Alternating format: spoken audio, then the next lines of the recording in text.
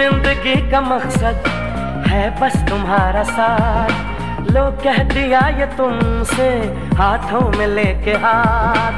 हम तुम तुम हम बन के रहे हम राज हम सफ़र। शिकवा करे न कोई एक दूजे से उम्र भर।